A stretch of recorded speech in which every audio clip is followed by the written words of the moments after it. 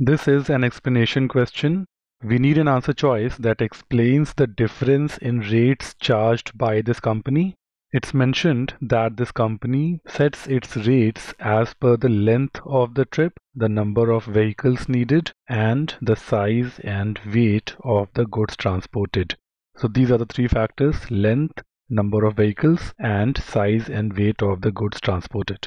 However, in case of this client here, this company is charging more for transporting the raw material than it is charging the finished products to its destination despite the number of trucks and the distance being the same.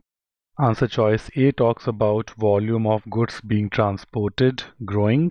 However, this is a factor that has already been included in the paragraph here the paragraph says that the number of trucks remains the same and therefore answer choice A does not explain the paradox. Answer choice C talks about the cost of transporting the raw material, encouraging this client to move some of the transportation service in-house.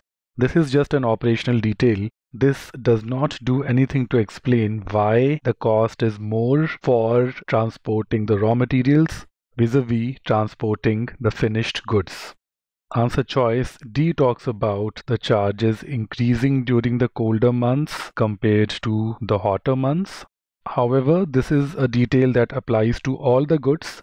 The difference in the cost of transportation between raw materials and finished goods is something that this answer choice does not explain whether all of this client's packaging material is transported by this company in question or whether only some of it is transported by this vendor here is all operational detail. This does not explain the difference in the cost.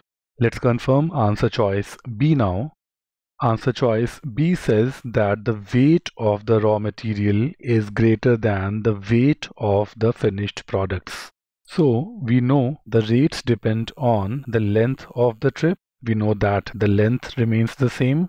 The rates depend on the number of vehicles needed. We know that the number of trucks remain the same and the rate also depends on size and weight of the goods transported. See, nothing has been said here about the weight of the goods transported.